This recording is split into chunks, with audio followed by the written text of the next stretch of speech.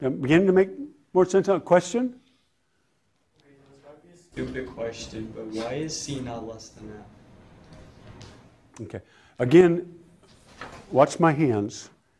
In a poset, when you draw the diagram and you say that this element is less than this element, you have to be able to get from this element to that one by walking up the diagram.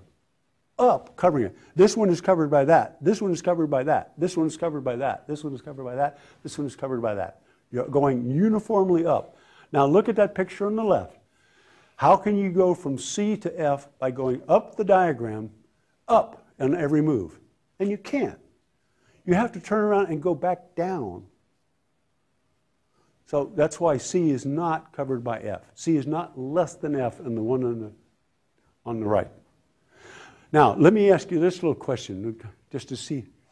Can you make a diagram with the same cover graph in which C and F are comparable? Make C less than F? Sure. See that little V type thing, the C over A and B on the left? Just turn it over swing it down on the bottom like this.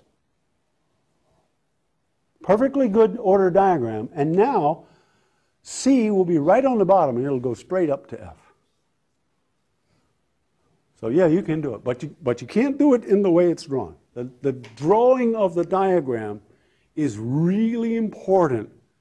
Got to pay attention to who is under whom and can you get from one to the other by going up a path. Question?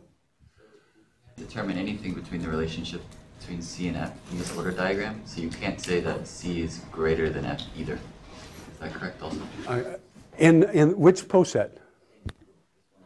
Okay, on the poset on the left, listen to these sentences. C is not less than F. F is not less than C. Both of those statements are correct. C is not less than F. F is not less than C. That's what makes partial orders interesting. In a total order, one of those statements would be correct and the other one would be false. Linear orders are in general dull. Partial orders are fascinating.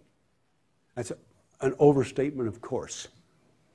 But we wouldn't be doing a whole chapter on finite linear orders.